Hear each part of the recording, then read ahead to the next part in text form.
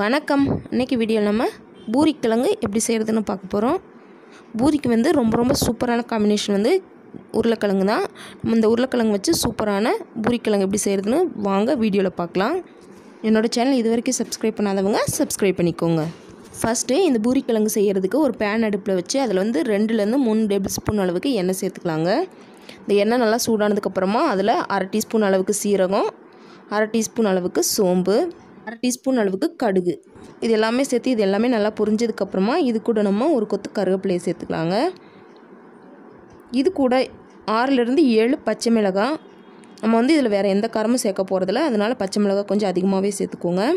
இது கூட ரெண்டு பெரிய சைஸ் பெரிய வெங்காயத்தை இந்த மாதிரி நீல வாக்கில் கட் பண்ணி அதை இதில் சேர்த்துக்கலாங்க. இந்த பூரிக்கிழங்குக்கு வெங்காயம் கொஞ்சம் அதிகமாக தான் இருக்கணும். அப்போ தான் டேஸ்ட் நல்லாயிருக்கும் சேர்த்துட்டு இந்த வெங்காயம் நல்லா கண்ணாடி பதம் வர வரைக்கும் இதை நல்லா வதக்கி விட்டுக்கோங்க. வெங்காயம் வந்து ரொம்ப வதங்கணும்னு அவசியம் இல்லை. நார்மலாக வதங்கியிருந்தால் போதும்.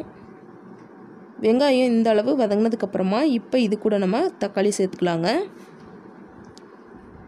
ரெண்டு பெரிய சைஸ் தக்காளி அந்த மாதிரி கட் பண்ணி எடுத்து வச்சுருக்கேன். அது இதில் சேர்த்துக்கிறேன்.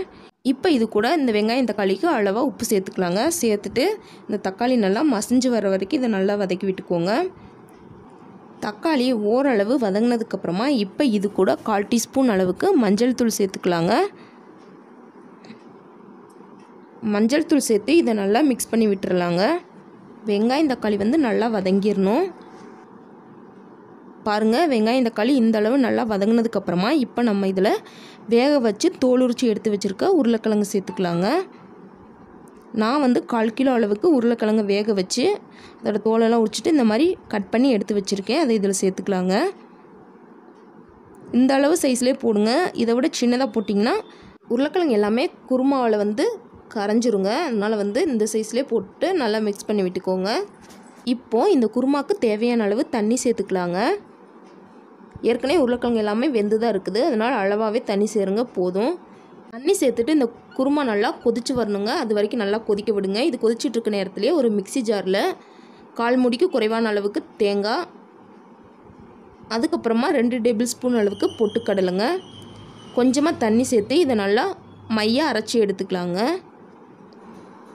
பாருங்கள் இந்த அளவு நல்லா மையாக அரைச்சதுக்கப்புறமா இதை நம்ம கொதிச்சிட்ருக்க குருமாவில் சேர்த்துக்கலாங்க.